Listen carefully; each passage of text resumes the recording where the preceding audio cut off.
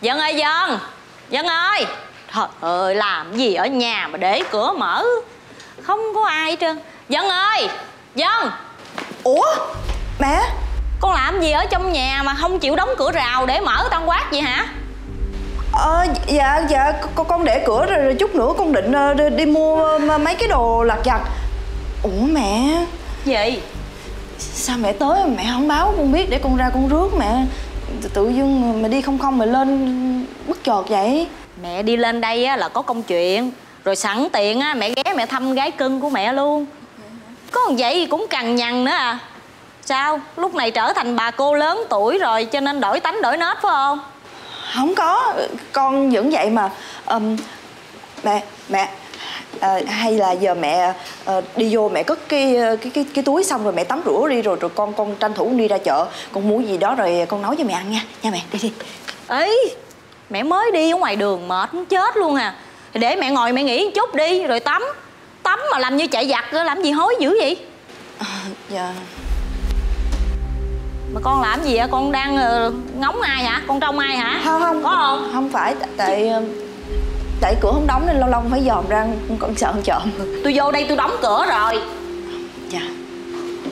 Vô dẹp cái vỏ ra đã. Dạ dạ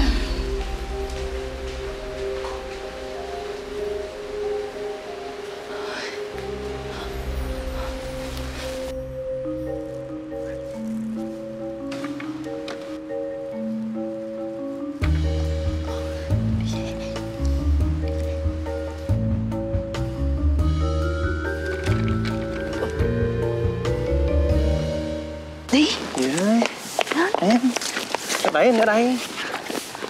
Anh tính bận đồ vậy ra mắt mẹ em thiệt á hả? Ngồi. Nào giờ anh có mặc quần tây áo sơ mi lịch sự vậy đâu. Tự nhiên cho bạn này anh khó chịu quá. Mang đôi giày vô giùm em đi. Vậy em đôi dép thì được rồi mang giày nữa. Mang vô. Để lên Rồi mang đôi giày nó hầm hơi lắm. Không quen luôn trời đi ra mắt mẹ vợ mà, mà mang đôi dép vậy kỳ cũng chết à. Nhưng mà con người anh sao mà cứ để vậy đi chứ tự nhiên thay đổi chị em? Nhưng mà không được. Vô đây. Bận áo vest cho luôn đi. Áo vest nữa hả? chứ làm sao? Anh là phải giám đốc vậy đâu mà áo vest thì cứ bận vô giùm em đi. Đóng thùng luôn. Bỏ đóng thùng luôn. Mặc sao cho nó bảnh tỏn? Mẹ em mà biết anh làm công nhân á hả là chuyện tình chúng ta chia ra đôi ngã luôn á Đừng nói với anh là mẹ em khinh thường người nghèo vậy nha. Không khinh thường người nghèo gì hết á. Đi đẹp rồi đó. Mẹ bạn trai con tới rồi đó mẹ. Dạ con chào bác con mới tới. Ngồi đi con. Dạ. Dạ. Ba má con ở nhà khỏe hả? À, dạ. À, dạ. Ba má con vẫn khỏe cũng ờ, đi làm bình thường. Ba má con làm cái gì? dạ. Mẹ. À. mới gặp mẹ hỏi gì thẳng giờ từ từ. Con im đi. Mẹ đang nói chuyện với bạn của con mà. Mẹ phải hỏi thăm chứ con xía vô làm chi? Dạ ờ, ba con thì ờ, làm bên ờ, vật liệu xây dựng. Còn mẹ con làm bên ờ, ngân hàng. Còn con làm gì? con con ờ, Làm gì? à, em anh anh liêm ảnh um, làm trong cái một cái lĩnh vực gì đó mà có chứng khoán á mẹ nói chung là nó không có cái tên rõ ràng dạ tài tài chính tài chính à, tài, tài chính đúng rồi Đúng tài rồi. chính Ờm, chứng khoán là cổ phiếu đồ đúng không đúng con? rồi cổ, cổ phiếu trái phiếu đó đó bác dạ Nghe nói làm cái nghề đó giàu dữ lắm Thấy không? Ừm, mà cổ phiếu là cái gì vậy con? Bác á thì muốn chơi chứng khoán Nhưng mà khi chơi chứng khoán á thì mình cần nhiêu tiền con Rồi à, mình mở cái tài khoản chứng khoán ở đâu Rồi mình chơi tới khi nào mình bán được con ờ, Sao con? ừm, cái ờ, cái cổ phiếu á thì ờ, nó Sao? cái trái phiếu với cổ phiếu thì nó cũng ờ, Thì không biết đúng không? Không biết cho nên đâu có nói được, đâu có trả lời bác được đúng không con? Bác thấy con á nên cởi cái áo vest đó ra đi Mặt nó nực nổi ngứa ngáy Hồi nãy giờ ngồi khó chịu lắm phải không con? Con chỉ thích hợp mặc mấy cái bộ đồ mà làm công nhân xây dựng thôi Đúng không? ủa vậy là mẹ biết anh liêm làm công nhân rồi hả Biết sao không? Ờ Dạ Nếu mà bác biết hết rồi Con cũng thú thật với bác luôn Dạ con không có làm chứng khoán gì hết á Con là công nhân Nhưng mà bác ơi Tại vì con con không có dám bước đến nhà bác với cái bộ dạng là một người công nhân. Con sợ là bác chơi con nghèo, Bác không cho con với em Văn tiến tới. Nhưng mà bác, con con con thương em Văn thật lòng. Con hứa với bác là là cỡ nào cỡ, con con ráng, con làm kiếm tiền. Con sau này con khá giả hơn, con lo đầy đủ cho em Văn hơn. Nhưng mà thật sự là giờ này là con rất là thương em Văn. Bác cho phép hai đứa con được quen nhau nha bác. Mẹ, Anh Liêm là người tốt. Con con chắc chắn là lần này con chọn đúng. Mẹ đồng ý với tụi con nha mẹ. Nha Tính ra nãy giờ tôi có nói gì đâu. Mà hai đứa làm gì mà năn nỉ dữ à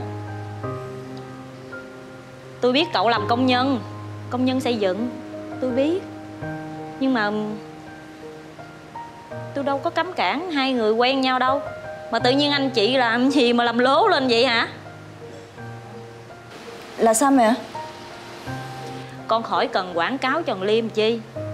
Mẹ biết á Thằng Liêm nó là người tốt. Ê Liêm hả? Sao mày không về xe chung với công ty cho vui? Mà đón xe buýt về làm chi à? Vừa lâu mà vừa tốn tiền nữa. Thì biết là như vậy rồi. Nhưng mà nếu bây giờ á tao đi chung với xe công ty về á thì làm sao tao tự tay á, mua được bánh cam cho người yêu tao ăn? Trời ơi, mày không biết đâu. Cái chỗ bán bánh cam nó ngon lắm nha người yêu tao ăn ở đó ghiền luôn á. Thôi mình ráng chịu khó chút xíu. Mà người bình thường á được ăn bánh là mình thấy cũng vui lây. Nhỏ nào mà quen được mày là có phước ba đời luôn đó. Tối ngày lúc nào mày cũng người yêu người yêu. Nó cần cái gì mày cũng mua cho nó hết. Còn bản thân mày ăn uống không dám ăn. Nè Bớt lo cho người ta lại đi. Coi chừng xúc tép nuôi cò đó. Mày trù ẻo bạn mày hả? Tại mày chưa tiếp xúc với người yêu tao nên mày nói vậy thôi. Nói chung á tao quen được cô ấy á tao cảm giác là tao may mắn ba đời mới quen được. Tao nói thiệt nên á tao nghĩ là nếu bây giờ á, tao còn sống ngày nào mà tao thương cô ấy á tao sẽ lo cô ấy suốt cuộc đời này. Cô ấy cần cái gì á trong khả năng tao tao lo hết. Thôi đi Hà Nội sến quá Đó mày thấy chưa? Anh Liêm anh là người tốt Rồi anh còn lo làm ăn nữa. Bởi vậy á, mẹ phải tin tưởng gia con gái của mình cho anh chứ. Tôi biết rồi, tôi yên tâm rồi cô Nói thiệt với cậu nha Bữa đó mà tôi không có gặp cậu á Là ngày hôm nay tôi không có đồng ý cho con tôi quen với cậu đâu. Tại vì bản thân nó đã từng bị dấp ngã rồi. Nó từng quen với một thằng hỏng ra gì hết Lừa gạt tình cảm nó Lấy hết tiền của nó bỏ đi. Nó đau khổ, nó chết đi sống lại vậy đó. Cho nên tôi rất là hà khắc với nó cái chuyện tình cảm yêu đương.